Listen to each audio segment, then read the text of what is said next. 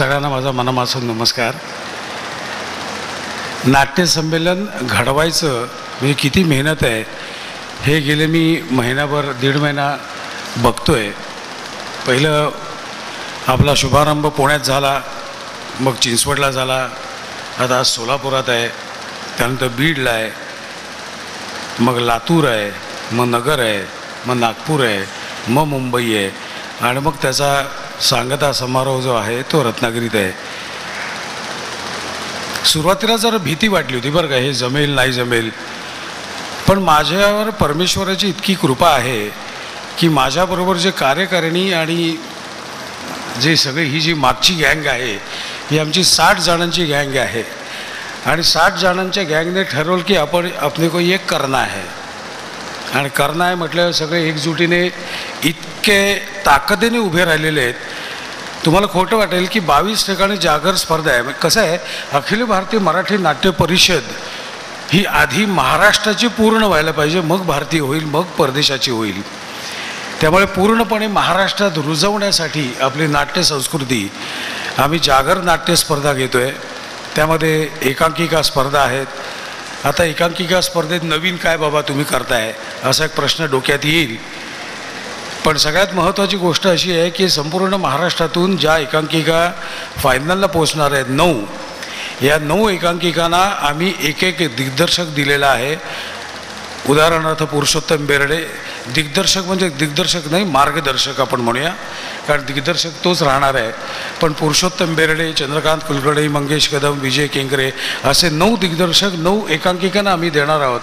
आणि त्यांनी मार्गदर्शन करायचं आहे त्यामुळे ती एकांकिकेची अंतिम फेरी जी होणार आहे तीही अतिशय ताकदीची होणार आहे. खऱ्या अर्थाने कस लागणार आहे? आणि असेच आमचा एकपात्री आहे अशा सहा स्पर्धा आहेत. खऱ्या अर्थाने तळागाळापर्यंत नाटक पोचवणे किंवा नाटकाशी संबंधित सगळ्या गोष्टी पोचवणे ही अखिल भारतीय मराठी नाट्य परिषदेची जबाबदारी आहे.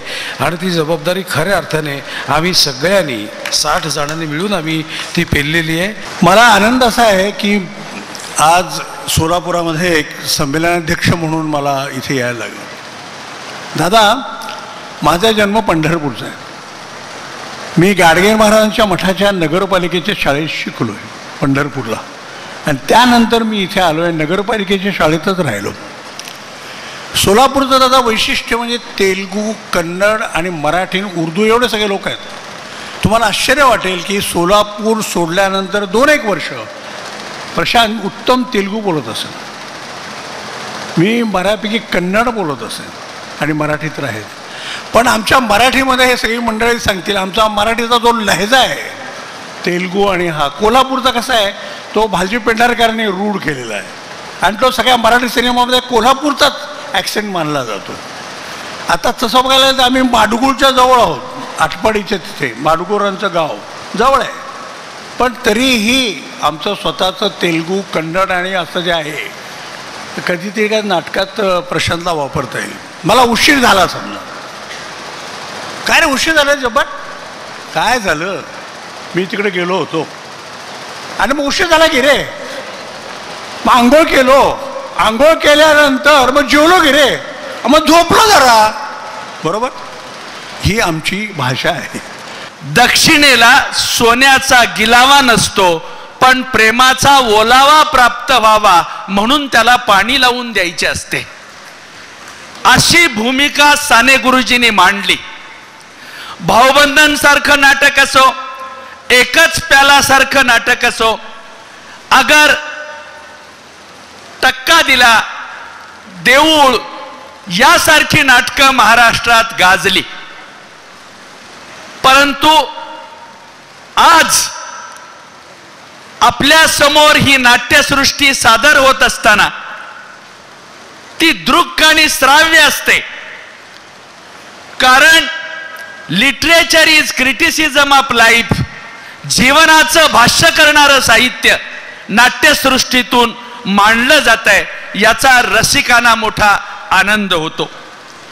आज या सगळ्या नाटकामधून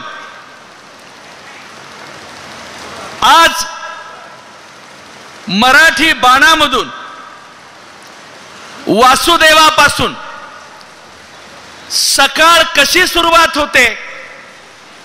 आणि संध्याकाळी झोपी जाणारा माणूस कोणत्या कार्यक्रमाने त्याचा शेवट करतो? हे सगळं प्रतिभा संपन्न अशा हंडे साहेबांच्याकडून आपल्याला पाहायला मिळणार आहे. परंतु जुन्या नाटकांचा ढाचाच सगळा बदलून गेलेला आहे. विविध कार्यक्रमांसाठी दोन हजार चौरस फुटाचा AC banquet hall hotel Chitra executive लग्न समारंभ रिसेप्शन वाढदिवस सेमिनार तसेच विविध बैठकींसाठी उपयुक्त असा सोलापूर शहराच्या मध्यवर्ती अशा सम्राट चौकातील हॉटेल चित्रा एक्झिक्युटिव्हमध्ये. पत्ता एकशे पंच्याण्णव बुधवार पेठ सम्राट चौक चिडगुप्पर हॉस्पिटल समोर सोलापूर. संपर्क एकोणनव्वद छप्पन्न शून्य तीन एकतीस शून्य शून्य आणि एकोणनव्वद छप्पन्न शून्य तीन एकतीस शून्य एक.